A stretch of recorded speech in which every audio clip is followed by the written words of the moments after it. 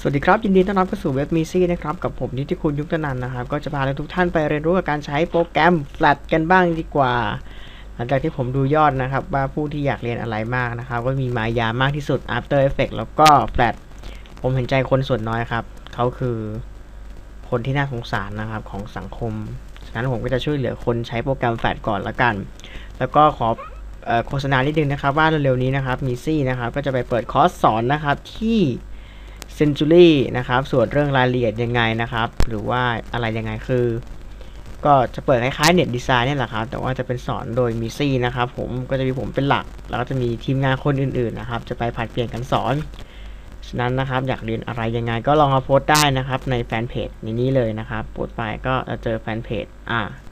โอเค เรามาดูงานเราบ้างดีกว่า นี่ผมลังทำเป็นเชฟนะครับ อยากจะสอนจัดการใช้ shape ให้เป็นนะครับ คนที่ทำแอนิเมชันในแฟลชเนี่ยต้องเข้าใจการใช้กราฟิกนะครับ แต่ในวันนี้ผมจะลองใช้ shape กันก่อนนะครับ ลองดูทำสีหน้าตัวละครง่าย ๆนะครับ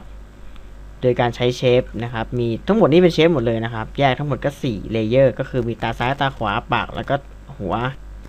นะครับ เราจะค่อยๆพัฒนาไปทีละขั้นทีละขั้น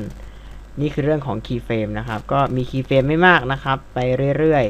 ๆ โอเค ผมเวลาสอนก็มักจะเริ่มงานใหม่ทุกครั้งอ่าโอเคขอปรับแบ็กกราวเป็นสี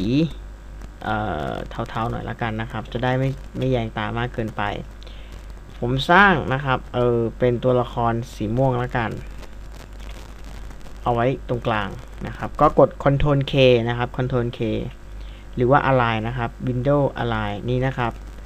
บางคนใช้รุ่นเก่าๆนะครับ Align to State นะครับ ไม่เขียนเหมือนกัน เพียงแต่ว่า ถ้าเป็นอีกรุ่นหนึ่งมันจะเป็นปุ่มสี่เหลี่ยมๆให้คลิกลงไปนะครับ มันจะอยู่ข้างๆนี้แหละมั้ง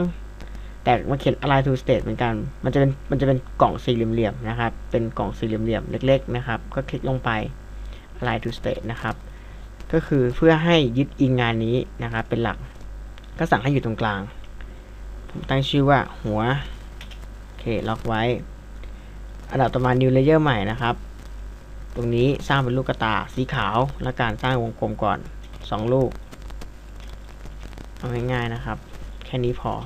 แล้วก็ดึงอีกหนึ่ง layer มาตรงนี้เป็นปากเหมือนผมทำปากแบบนี้ อะ โอเค เป็นลูกโบว์ลิ่งไงก็ไม่รู้ โอเค ลากครอบทั้ง 3 ตัวนี้นะครับ เมื่อกี้อาจจะสงสัย เอ๊ะ ผมดึงลงมายังไง การคลิกที่วัตถุนะครับ ให้ขึ้นเป็นอ็อบเจกต์อย่างนี้ขึ้นมาก่อน แล้วกด alternate ค้างนะครับ alternate ค้าง คลิกซ้ายค้างแล้วลากออก สังเกตตรงเมาส์นะครับ จะมีเครื่องหมายบวกนี่เป็นการเพิ่มนะครับหรือการดูพิเคทนะครับ วัตถุนั้นออกมาโอเคลบทิ้งไป อันนี้ก็เอาไว้ตรงกลางลูกกตาก็ช่างมัน จะเบี้ยวจะอะไรนิดหน่อยไม่เป็นไรครับลากครอบทั้ง 3 ตัวนี้นะครับอย่าลืมว่าผมล็อก layer หัวไว้แล้วนะครับ แล้วก็คลิกขวาเลือก distribute to layer ก็คือการแยก ทั้งวัตถุทั้งหมดหรือ object ทั้งหมดเนี่ย ออกเป็นวัตถุละ1 Layer ซึ่งเป็นเครื่องมือที่ใช้บ่อยมากๆ ลบ layer เปล่าทิ้งไปนะครับ ก็จะเหลือ layer นี้นะครับ ผมตั้งชื่อว่าตา ตาขวาอ่าขวาละกันซ้ายตัวละครตาขวาของเรานะครับ อิงเราเป็นหลักปากอืมแล้วก็ตาซ้าย โอเคนะครับ ต่อจากนั้นนะครับ ผมจะ insert frame ทิ้งไปก่อนนะครับ นี่เป็นเรื่องที่มือใหม่มักจะงงมาก ๆ เลย ผมจะลากอย่างนี้หรืออย่างนี้ก็ได้นะครับ ผมชอบลากอย่างนี้มากกว่า คือการคลิกซ้ายครั้งแล้วลากครอบทั้งทั้งหมดทุกเลเยอร์นะครับ ลากครอบไป อ่า แล้วกด F5 หนึ่งครั้ง เป็นการสร้างเฟรมเปล่าเข้าไปก่อน อ่า เดี๋ยวปลดล็อกนะครับ ผมจะลากครอบทั้งหมดนี้นะครับ ลากครอบแค่นี้ก็ได้ แต่ผมชอบลากอย่างนี้ นะครับความสุขของผมนะครับ ก็คลิกขวาเลือก create shade tween นะครับ มันจะเป็นสีเขียวๆตอนนี้ยังไม่มีการ animation ใดๆทั้งสิ้นนะครับ ผมจะสร้าง keyframe ที่ 10 ทั้งหมดเลยนะครับ ผมลากรอบ ให้คลิกซ้ายค้างแล้วลากทั้งหมดนะครับ ไม่ใช่แบบมานั่งคลิกอย่างนี้ปุ๊บแล้วก็คลิกซ้ายอีกครั้งหนึ่ง อันนี้เป็นการยกเฟรมนี้นะครับไปไว้ที่อื่น ฉะนั้นนะครับคลิกที่อื่นก่อนเลย ตรงไหนก็ได้ แล้วก็สมมติจะเอาเฟรมที่ 10 ใช่ไหมครับ ก็คลิกซ้ายนะครับ ค้างแล้วลากเลย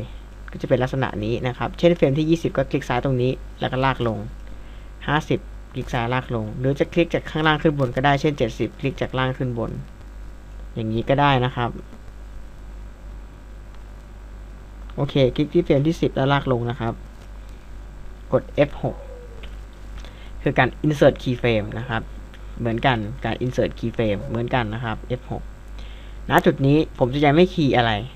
ขอให้มันวิ่งไปก่อน 10 เฟรม แล้วค่อยขยับ มาขยับที่ 20 นะครับ ลากครอบ 20 ทั้งหมด แล้วก็กด F6 นะครับ F6 ก็จะได้เป็น keyframe สามอันแล้วนะครับ นี่คือ key ต้นของช่วงนี้ 10 ไป 20 นะครับ 20 ผมจะขยับ เช่นผมจะบี้หัวมันลงทำหน้าเซ็งๆหน่อยทำหน้าเวอร์ๆเออเซ็งๆ ทำตาเซ็งๆนะครับ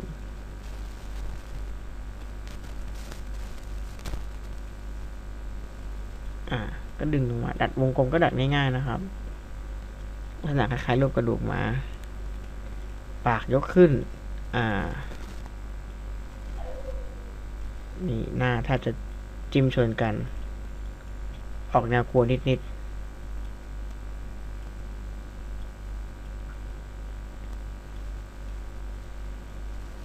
เค ลองดูนะครับผลลัพธ์ที่ได้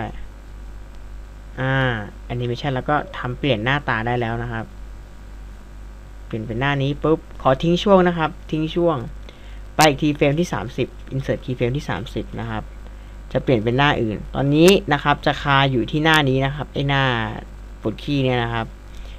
20 ไปถึง 30 นะครับ เรากด enter ที่เฟรมที่ 1 ดูนะครับ เห็นไหมครับ มีการหยุดก่อน 10 เฟรม animate 10 เฟรม แล้วก็หยุด 10 เฟรม คราวนี้ผมจะมา insert key frame ที่ 40 นะครับ insert key frame ที่ 40 บางคนอาจจะสงสัยแล้วว่า เฮ้ยยังไม่ได้เลยครับ เมื่อกี้ทำไง ลองกลับไปฟังซ้ำๆกันนะครับ หลักการ key frame เนี้ยนะครับ ก็เหมือนคิดซะว่าเฟรมนี่คือรางรถไฟนะครับ key frame คือสถานีรถไฟ รถไฟวิ่งด้วยความเร็วคงที่นะครับ วิ่งไปจากจุดหนึ่งไปหน้าจุดหนึ่งนะครับ ก็คือจากจุดนี้วิ่งไปจุดนี้หรือว่าจากสถานีที่หนึ่งวิ่งไปสถานีที่สองอ่าสถานีที่สองทำอะไรนะครับ เช่น ยิ้มสถานีหนึ่งบึ้งก็จากหนึ่งไปสองก็จะค่อยๆ จากบึ้งกลายเป็นยิ้มอะไรอย่างนี้นะครับสามสิบไปสี่สิบผมจะให้มันขยับ ให้มันเปลี่ยนหน้าตาก็มามาที่สี่สิบเลยมาที่คีย์เฟรมที่สี่สิบลองเปลี่ยนตาดูลองยืดตาออก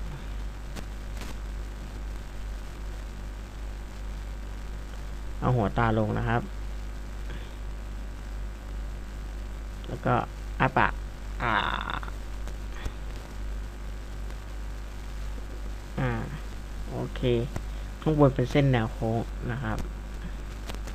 ข้างล่างยกขึ้น ประมาณนี้ผ่าเป็นสามเหลี่ยม หัวก้างออก นี้ก็ได้ หน้าซาลาเปาเลยนะครับ อ่าโอเค เราเช็คแอนิเมชันมีการทิ้งช่วงนะครับ 20 ไป 30 ไม่มีการ animate คือทิ้งให้คนเห็นเป็นหน้านี้ก่อนปึ๊บ แล้วก็กลายเป็นหน้านี้นะครับ อ่า โอเคอ่าต่อมาเราลองทำให้ตัวละครมันกระพริบตาดูบ้าง เช่น ค้างอยู่หน้านี้นะครับ แล้วมันก็กระพริบตา การกระพริบตาเนี่ย เช่นผมทิ้งช่วงไว้อ่าไป key frame ที่ 80 นะครับ insert key frame ไปที่เฟรมปลายก่อนคือนี่คือคีย์ต้นนะครับ 40 คือคีย์ต้น 80 คือคีย์ปลาย เรามองเป็นช่วงๆนะครับ ช่วงสั้นๆ ต้นอยู่ตรงนี้ปลายอยู่ตรงนี้ เช่นสิเออเราเว้นช่วงสักสองวิค้างอยู่ท่าเดิมแล้วก็คีย์ต้นคีย์ปลายไว้ ตรงกลางอาจจะมาคีย์กระพริบตาอ่าคือคีย์หัวท้ายไปก่อน แล้วก็มาคีย์ตรงกลาง เช่นผมจะทำกระพริบตาผมก็ดูก่อนว่าเอ๊ะตาข้างไหนมันอยู่ไหนก็ดูจากชื่อ layer ผมจะดึง layer เอาไว้ติดกันแล้วกันนะครับ วิธีการดึงก็คือคลิกที่ layer แล้วก็คลิกซ้ายค้างเลื่อนได้เลย โอเค ผมคีย์ตรงนี้ที่ 50 นะครับ ที่ 45 คีย์แล้วหุบตาลงหุบตาลงบี้ลงอย่างนี้นะครับ มันยาวเกินไปกดเข้ามา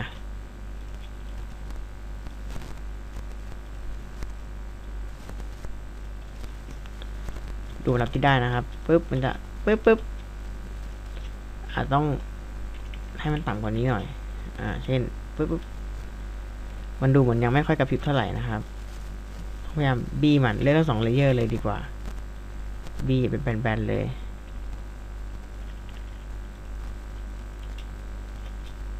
อืม อาจจะต้องยืดออกนะครับ ยืดออกหน่อยนึง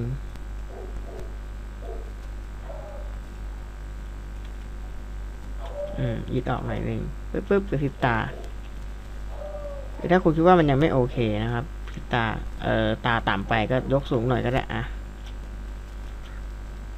อ่าพิตาปึ๊บปึ๊บอ่ามันช้าไป อยากให้เร็วขึ้นนะครับ คือการร่น key frame ลง key frame ยิ่งเอ่อเฟรมยิ่งห่างกัน หรือว่ามีเฟรมอยู่ตรงกลางคั่นระหว่างกลางมากเนี่ย การเดินทางก็จะนานมากขึ้นนะครับ เช่นจากเอ่อหัวลำโพงมาหลักสี่ ก็อาจจะเดินทางสัก 15 นาทีหรือ 20 นาทีสมมตินะครับ หรือไปเชียงใหม่ก็ 13 ชั่วโมง เพราะว่ามีช่วงเฟรมจำนวนมาก ฉะนั้นผมอยากจะลดให้กระพริบตาเร็วขึ้น ผมก็ต้องล่นคีย์เฟรมให้มันใกล้กันมากขึ้นนะครับ ผมล่นคีย์เฟรมเข้ามา ดูผลลัพธ์ที่ได้นะครับ เออปึ๊บปึ๊บอ่าอยากให้กระพริบตาอีกตรงนี้สักสองครั้งติดกัน แบบยิบยิบอะไรอย่างนี้ก็ลากครอบอย่างนี้นะครับ คลิกซ้ายค้างทีเดียวลากครอบ คลิกซ้ายทีเดียวลากครอบนะครับ กด alternate ค้างนะครับ แล้วก็คลิกซ้ายค้างตรงนี้ลากออก วางตรงนี้ 1 ชุด แล้วก็ก็ปล่อยทั้งหมดทั้งคลิกซ้ายแล้วก็ alternate นะครับ แล้วก็กด alternate ค้างคลิกเมาส์ซ้ายค้าง แล้วลากออกมาตรงนี้ต่อท้ายนะครับ ดูผลลัพธ์ที่ได้อ่าเราคลิกที่อื่นก่อน เมื่อกี้อย่างนี้เสียนะครับ ต้องคลิกที่อื่นก่อนอ่าอะไรอย่างนี้ยิกยิกยิกยิกยิก อ่าส่วนปากนะครับ ปากหุบบ้าง หุบบ้าง ระหว่างห้าสิบไปเจ็ดสิบนี่คีย์คีย์ที่ห้าสิบก็คีย์ที่ layer ปากนะครับ คีย์ปุ๊บหุบปากไอ้วิธีการยืดหดลงมาตรงกลางคือกด alternate ค้างไว้นะครับ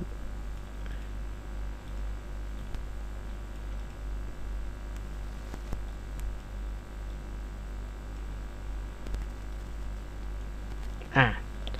ดัดปากได้อย่างนี้แล้วถ้าอยากจะให้ปากนี้คาอยู่ที่รูปนี้จนถึงเฟรมที่ 70 นะครับ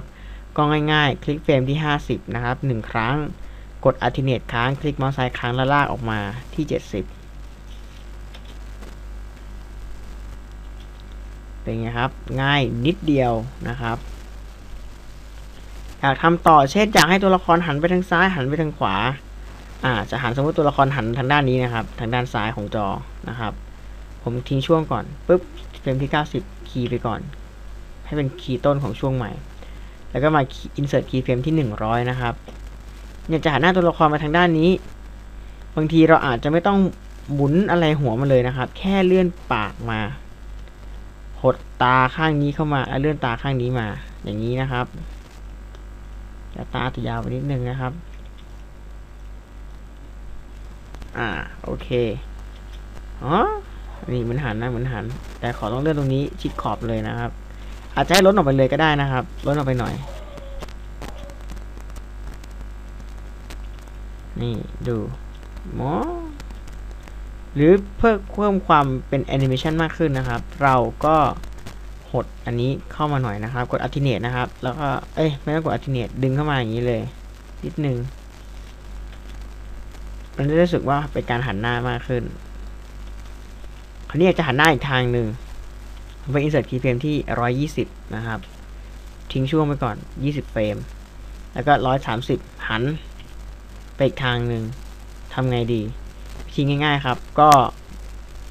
ได้ก็เป็นอินลานะครับ ที่ขวาแล้วมีมีรีฟงรีเฟกอะไรก็ไปที่ modify นะครับ transform แล้วก็เลือก horizontal นะครับ หรือการกลับหน้าอ่าเลื่อนหัวไปทางขวาด้วยปั๊บ เห็นอะไรไหมครับ ปัญหาเกิดครับใช้ไม่ได้นะครับบางทีเราจะคิดเป็นว่ามันถูกต้องแต่จริงๆแล้วมันผิด เพราะว่าพอมันกลับกันเนี่ยไอ้ตาข้างนี้อยู่ตรงข้างอยู่ตรงกลางอยู่แล้วใช่ไหมครับ แต่คิดคิดง่ายๆคืออยู่ตรงกลางพอกลับข้างกันตามันก็อยู่ที่เดิม ซึ่งตาข้างนี้ต้องกลายเป็นตาข้างด้านขวาสุด เราจะ clear keyframe ทิ้งไปก่อนนะครับ ลากครอบแล้วก็คลิกขวาเลือก clear keyframe แล้วก็ลากครอบตรงนี้ insert keyframe ใหม่ ตาข้างนี้นะครับ ยกมานี่หดลง อย่างนี้ อันนี้นะครับ ยืดออก แล้วลากมาวางตรงนี้ ปากวางตรงนี้ หัวนะครับ หัวก็ก็ก็อย่างเงี้ยแหละอ้าวคีย์ผิดที่ลากอันนี้มาวางครับ จบลากกลับที่เดิม อ่า งงงงทิ้งช่วงเฟรมก่อนแป๊บหนึ่งนะครับ insert เฟรมทิ้งไปปั๊บแต่คราวนี้มันช่วงนี้นะครับ ช่วงนี้หัวต้องกลางออก หัวต้องกลางออกเหมือนด้านหน้า หัวจะมาเท่ากันทุกด้านคงไม่ได้ มาที่ร้อยร้อยยี่สิบห้านะครับ แล้วก็ insert keyframe ตรงกลาง กลางหัวออก ปะ กลางหัวออกนะครับ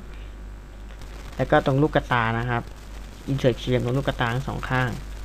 ยืดตาออกให้มันดูยาวๆหน่อย ครับตัวนี้วึบนี่ดูชัดชัดอ่าดูชัดๆนะครับ เริ่มดูมีมิติมากขึ้น เป็นการหลอกง่าย ๆนะครับเหมือนว่าหันจริงๆแวบแวบอ่าจำไปเลยเควันนี้นะครับผมนิติคุณยุกนันก็ต้องขอจบคอร์สนะครับ การใช้เชฟนะครับ เพื่อความชำนาญแล้วเราจะมาขึ้นบทเรียนต่อๆไปกันนะครับเดี๋ยวผมจะพยายามคิดหลักสูตรว่าเอ้เราจะเรียนอะไรกันดีอะไรอย่างนี้นะครับ ก็วันนี้ไปหัดฝึกการใช้ shape ให้ชำนาญนะครับ เพราะว่ามีประโยชน์ในการทำแอนิเมชันเป็นอย่างมาก อย่าไปมัวใช้ movie clip หรือว่ากราฟิกอะไรกันอย่างเดียวนะครับ มันมีประโยชน์จริง ๆ อ่าโอเค วันนี้ก็ขอจบแต่เพียงเท่านี้ สวัสดีครับ